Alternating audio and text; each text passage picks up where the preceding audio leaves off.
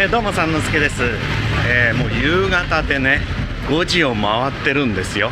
まあ朝はね割と早くに起きてたんですがもう暑くてねあんまり出かける気にならないっていうのが正直なところですな。あですからまああ部屋で割とのんびりとしていたんですがだいぶ涼しくなってきたんで、えーなんか食べに出かけたり、まあ、散歩もこの時間になると結構心地いいんでね、えー気ままにどこにもどこ行くんだろうな。分かんないけどとにかく歩いてるんですよ。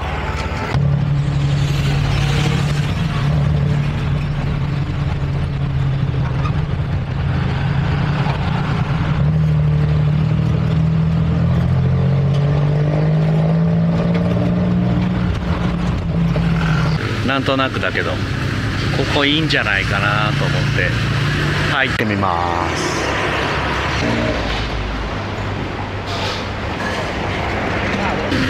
なんかフードコートみたいになってるんですよね。で今ここどうやらステーキ屋さんみたいなんだけどちょっと変わってるんでまあタイ料理もいっぱいあるんですけどねこのフードコートの中には。ポーク行ってみようかな。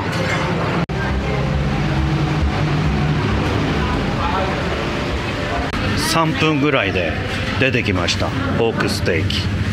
うん。なんか美味しそう。これ。パンもある。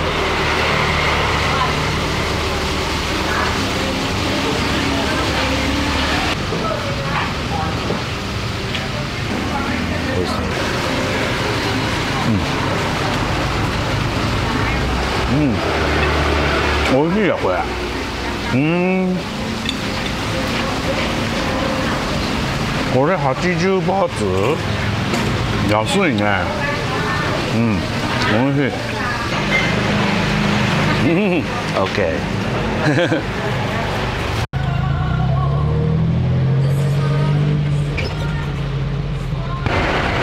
このボタンを押すとどこでも止まってくれます。さて地下鉄なんですけどね。どっちへ向かおうかな。やっぱり街の方へ向かった方がいいんだろうな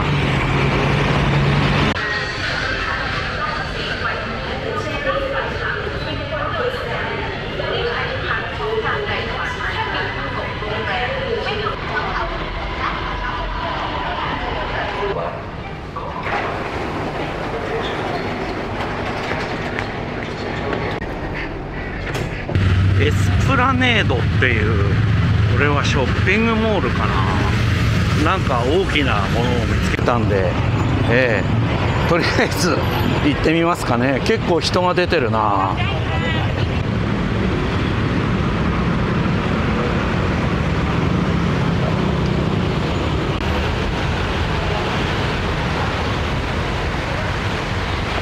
デパートみたいなところかなここは。ショッピングモールかな。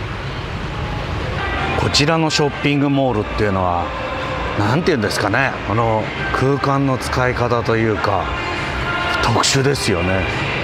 なんか僕らの感覚ではないこの広さっていうんですか。通路がめちゃくちゃ広い。そして誰もいない。いやいるんですよ結構。だけどあのあまりにもこう広々してて閑散としてるっていうんですかね。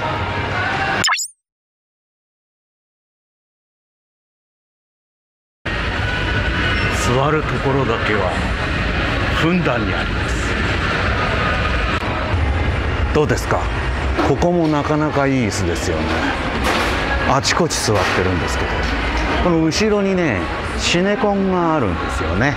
ええ。でもあのなんて言うんですかこう統制が取れてないっていうかまあこれもタイのまあショッピングモールの特徴だと思うんですけどもう隣と同士の店のこうジャンルが違いすぎてですね何なんだとお思ってしまうこれがまた面白いところですね。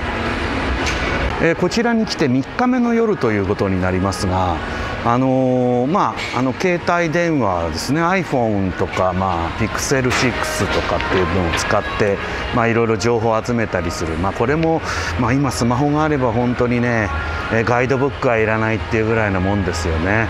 でもねちょっと変わってきたっていうのはねあのこう YouTube とかね Twitter とか、まあ、いろんなものにこう広告とかそれからあのおすすめとかそういうものが出るじゃないですか。こっちに来てからねちょっとずつその内容が変わってきてる気がするんですよね。で困ったことにですねなぜか YouTube のおすすめ動画には割と色っぽいやつですね、えー、色っぽいやつがこうやけに表示されるようになったりとかちょっとお見せしづらいんでねあれですけど、えー、今まで自分の YouTube にこんなおすすめ出たことないなっていうあ YouTube ってここまでありなんだみたいなものがね出てくるっていうのはどうしてなんでしょうかね。まあ、それからですね、まあ、ツイッターの広告なんかはあのいわゆるタイ語っていうんですか？あのとても読めないあのむにょむにょむにょっとした、ね、感じですよ。どういうこととかっていうとこうこうこうこういうこういうこういうこういうこういう字ですよね。こういう字。こういう字がですねやたら表示されましてね困っちゃうんだよね。広告効果ゼロっていうそんな感じでございますが、えー、だからねまああのそうですよね。こうやっぱりこう新しい国に着くとあの時計なんかもねすぐにこうパッとこう切り替わるじゃないですか。現地時間にね。そういうものはすごく便利でいいんですけどなんかいろんなものがこのローカライズされてしまうっていうこれもまた現代の何、えー、て言うか面白いところだな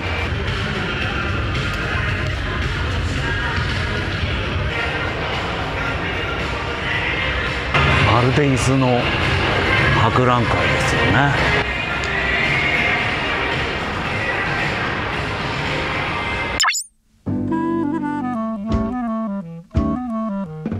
食べるものも様々。でこれは日本食レストラン東海千住カフェカルディ。大丈夫か？な居酒屋飛躍。東京カフェオンザテイブ大戸屋夏の鍋フェス実施中。芝村楽器ジェネリック。焼肉ワーキー。スチスロズボララその心は？風の鍋料理屋さんかな？モーモーパラダイス。これこの間頼みすぎたやつだ。えー、スーラーイノシシ背肉湯弥生県富士レストラン。ココイチペッパーランチ。マグロ銀だこ。回転寿司。炒める野菜八番ラーメンみんな大好きダイソーは。60バーツか建物を出て隣の敷地に来たら、えー、ナイトマーケットがあるみたいですね。ちょっと行ってみよう。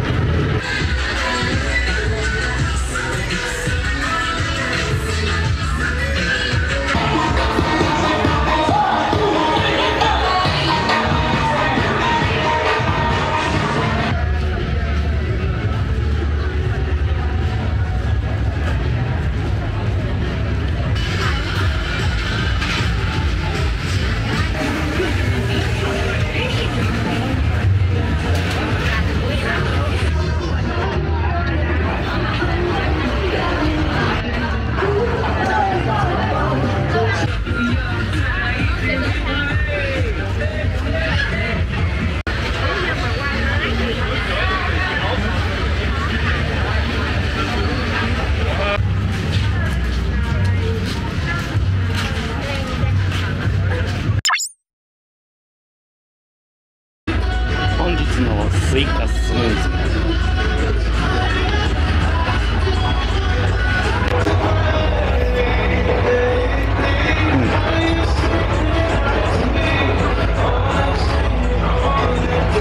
うん、おいしいおいしい。